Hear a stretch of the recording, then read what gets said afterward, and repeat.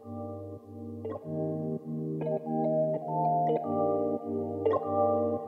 you. Located at the Horn of Africa, the Federal Republic of Somalia is bordered by Ethiopia to the west, Djibouti to the northwest, the Gulf of Aden to the north, the Indian Ocean to the east, and Kenya to the southwest.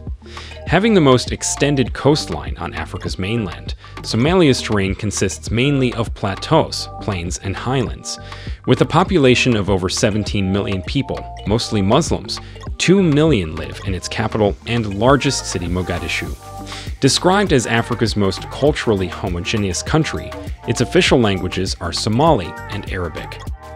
Among the most probable locations of the ancient land of Punt, Somalia, in antiquity, was an important commercial center. During the Middle Ages, several of its powerful empires dominated regional trade, including the Ajuran Sultanate and the Adal Sultanate. In the 19th century, Somalia was colonized by the European and merged into Italian Somaliland and British Somaliland. But following independence in 1960, the two territories were merged to form the independent Somali Republic under civilian government.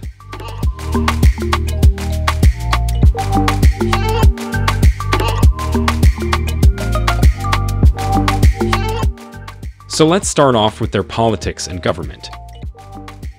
The nation is a parliamentary representative democratic republic with a president as head of state, commander in chief of the Somali armed forces, and a prime minister who's head of government. Somalia's national parliament is the federal parliament of Somalia, while its judiciary is defined by the provisional constitution of the Federal Republic of Somalia. The country's national court structure is arranged into three tiers, which are the Constitutional Court, federal government level courts, and state level courts, whose judges are selected by a nine member Judicial Service Commission, while its laws are gotten from a combination of five free different systems, which include civil law, Islamic law, and customary law. Handled by the President, the Prime Minister, and the Ministry of Foreign Affairs, Somalia's foreign relations with other governments in the international community are basically bilateral. With several diplomatic missions abroad, Somalia is also a member of multiple international organizations, including the United Nations, the African Union, and the Arab League. Known to be one of the poorest countries in sub-Saharan Africa, Somalia is located in one of the most poverty-stricken regions of the world. For more than a century, poverty in Somalia has been an enormous issue, even though slight alleviations have recently been experienced due to increased foreign aid and government stability. Poverty in Somalia can be traced from several points, including severe droughts and extreme weather conditions, which make a life for people living in poverty even more difficult, lack of basic infrastructure like access to fresh drinkable water, low literacy rate due to poor access to education, especially in rural areas, and lack of access to information as 85% of its youth live in rural areas. At around $400, Somalia's per capita income is one of the lowest in the region, making it a huge reason why the country is poor. The number of good jobs in the country is affected by the lack of infrastructure, and so most of Somalia's citizens turn to rely only on agriculture. With limited access to maternal health resources and education, Somalia has a terribly high child mortality rate, making it one of the worst countries in the world to be a woman. In 1991, Somalia's government broke out and left the country in a shattered state. A new government was established, but conflict still continued, leaving the country in extreme poverty, famine, and recurring violence.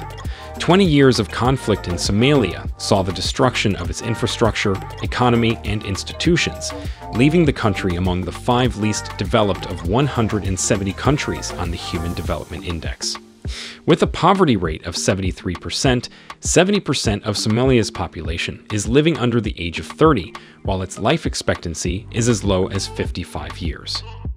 With the widespread unemployment, especially among the Somalia youths, development is low due to challenges caused by humanitarian situations and the high level of insecurity, which also contributes to poverty in the country.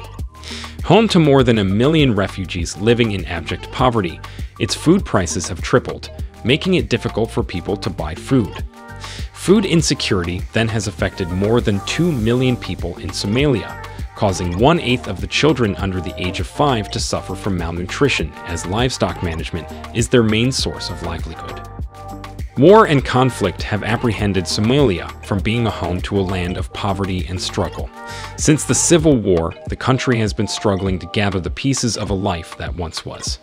To end child poverty in Somalia, NGOs like Save the Child Somalia have been raising and using money directly to help the children living within the impoverished nation.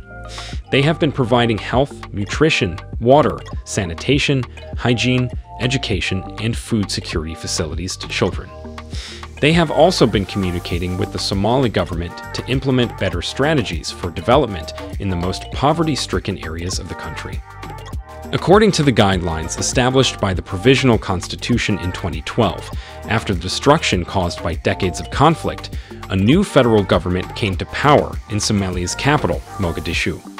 The emergence of this new ruling party aided the country to get international assistance in resolving ongoing political issues.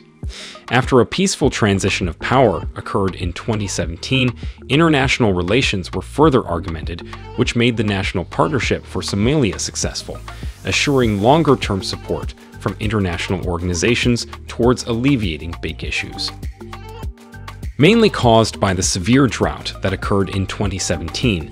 Somalia's GDP decreased to 1.8% from 2.4% in 2016, despite the new deals of international support. Considered to be one of the fastest urbanizing cities in the world, Mogadishu started improving as far as security, economic potential, and urban displacement were concerned. Despite Somalia's efforts to stop the ongoing famine in 2017 from being widespread, the drought still resulted in large-scale food insecurity that affected over 6 million people.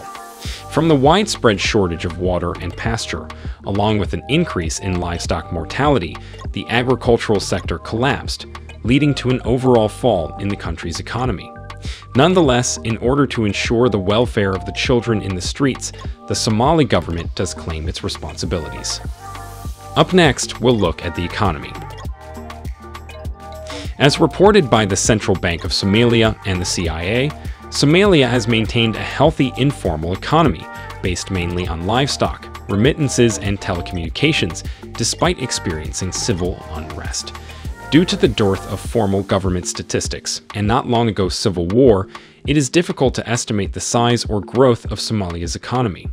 However, according to the central bank, its GDP per capita as of 2012 is $226, which is lesser than that of 1990.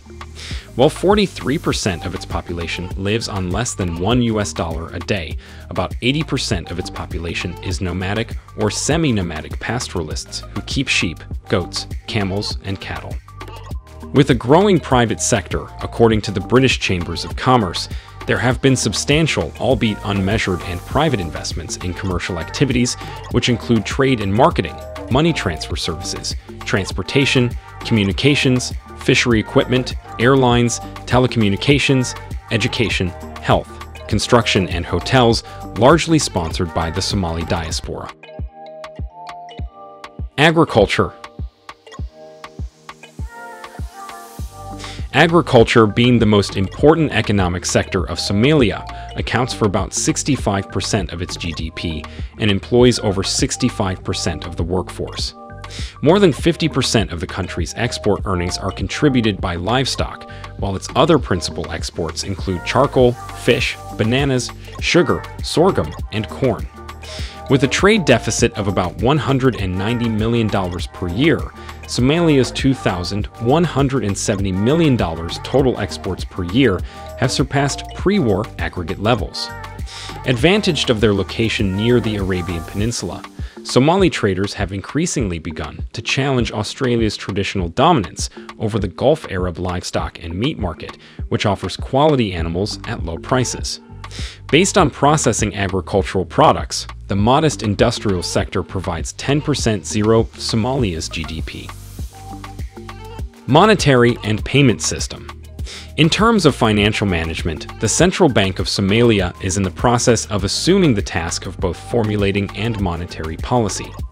Despite not having a central monetary system authority for more than 15 years, between the outbreak of the Civil War in 1991 and the subsequent re-establishment of the Central Bank of Somalia in 2009, the country's payment system is currently fairly advanced, basically due to the widespread existence of private money transfer operators acting as informal banking networks.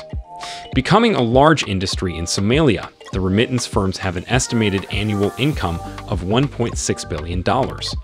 From tourism to transport to telecommunication and media, it is evident that positive changes are being made to combat poverty in the country. Poverty in Somalia is rooted in civil conflict, limited resources, natural disasters, and a lack of an effective central government. However, with the current progress as far as government stability, improved infrastructure, and security are concerned, there is hope that the country's economy will grow over the poverty line in the nearest future. Our message, then, to all citizens of Somalia is of encouragement. At every given opportunity, invest your potential for self-development and for the development of your country as a whole. If you enjoyed watching this video, please do not forget to leave a thumbs up, subscribe, and become a member of our growing diverse community here on Think Rich Africa. Thanks for watching and see you in another interesting video.